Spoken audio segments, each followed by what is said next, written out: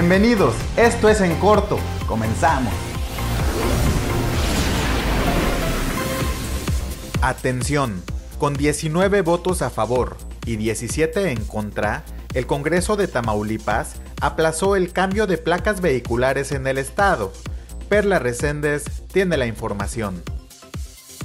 Tras 40 minutos de discusión, el Congreso de Tamaulipas aprobó la reforma a la Ley de Hacienda del Estado, mediante la cual se elimina el cobro por canje de placas vehiculares. La iniciativa de los diputados del Grupo Parlamentario de Morena fue aprobada por 19 votos a favor y 17 en contra. Esta iniciativa había quedado pendiente en la pasada sesión, luego que cinco diputados de Morena se habían ausentado argumentando motivos de salud. Fue la diputada de Morena Úrsula Salazar Mojica quien dio lectura al dictamen aprobado en comisiones del que se dijo busca beneficiar la economía de las familias afectadas por la pandemia. A los votos de los diputados de Morena y PT se sumó el de Gustavo Cárdenas de Movimiento Ciudadano, mientras que en contra votaron los diputados del PAN y del PRI.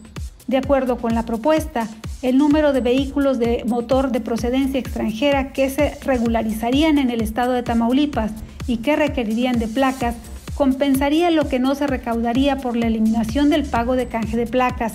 El decreto será notificado al titular del Poder Ejecutivo para que realice las adecuaciones conducentes en el reglamento de tránsito del estado de Tamaulipas. Reportó para En Corto, Perla Reséndez.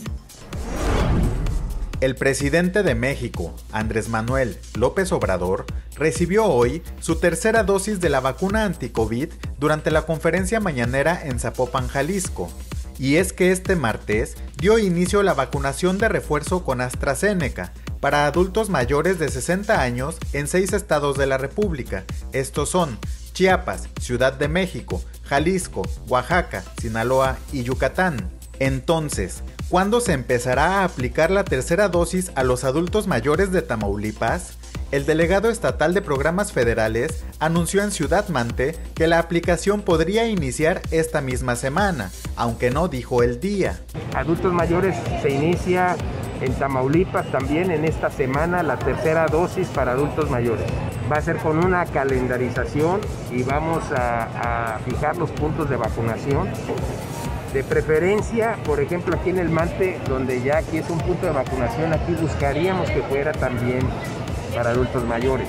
El delegado agregó que también se está buscando el refuerzo para maestros que recibieron la Cancino Unidosis y que constantemente han reclamado un refuerzo. Por los presuntos maltratos a niños e incumplir con lineamientos de seguridad, fue cerrada la guardería Niños de Tantoyuca en Ciudad Madero. Actualmente, la Fiscalía General de Justicia de Tamaulipas investiga las acusaciones en contra de la propietaria y encargada del lugar, ya que es señalada por madres de familia y cuidadoras del maltrato que sufrieron los menores hace tres semanas. La procuradora del sistema DIF Madero, María Ide Reyes, confirmó que la COEPRIS fue quien ordenó el cierre de la estancia infantil que se ubica en la colonia Las Flores. Durante el mes de noviembre, en Tamaulipas elementos del ejército mexicano lograron detener en diferentes acciones al menos a una persona por día, relacionadas con diferentes hechos delictivos. En su informe mensual sobre las acciones llevadas a cabo en la entidad, se dio cuenta de la detención de 27 personas en flagrancia delictiva, además del aseguramiento de armamento, drogas y dinero del cual no se pudo acreditar su procedencia.